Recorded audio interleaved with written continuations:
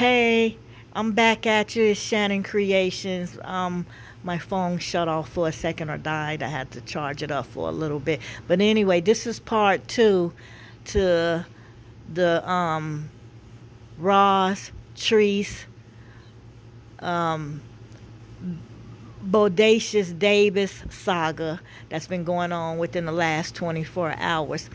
Um, back to what I was saying.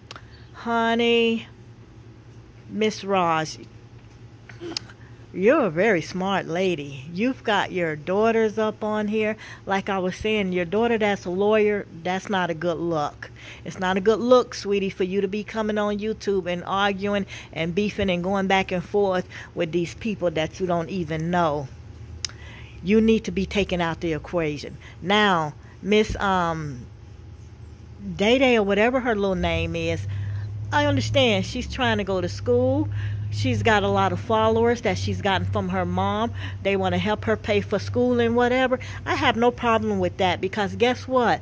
We as black people, especially black women, we should be trying to um encourage and and and follow um our young people as they go to school to better themselves because they're the next generation. Who do you think is going to be taking care of us, these young kids? But there's a way to do things.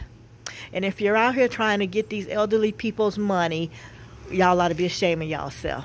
You could do better than that, young lady. Don't be a follower, be a leader. Okay?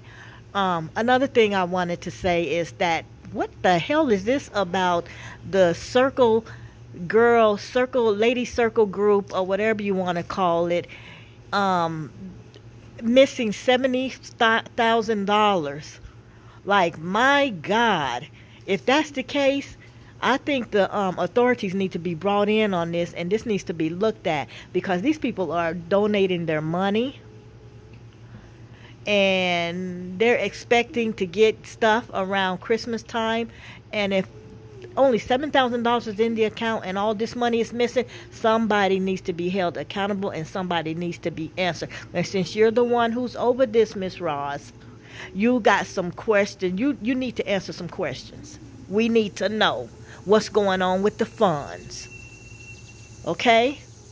Um, you really need to step back because you're in over your head and you've got all this stuff going on out here and you're beefing with this one and that one and you're obsessed with um Latrese for whatever reason is you know um if you want her just hit her in the message inbox and let her know you want her.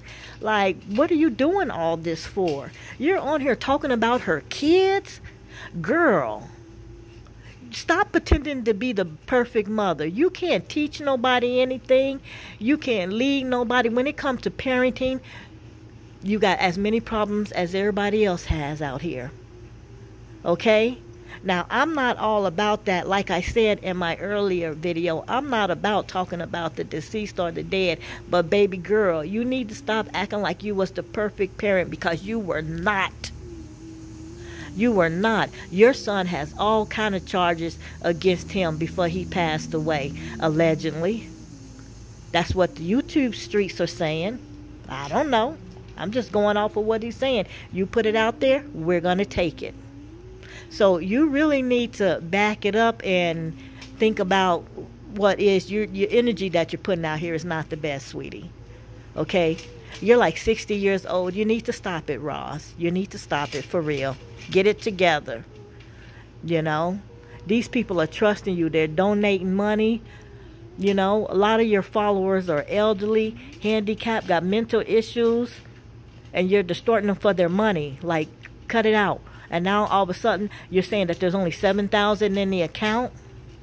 Can't be. If they've been do donating money for um five to six months, it's got to be way more than that.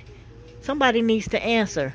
And then you went from five ninety nine to thirty, girl. You better be careful, honey. You be don't land yourself up into jail.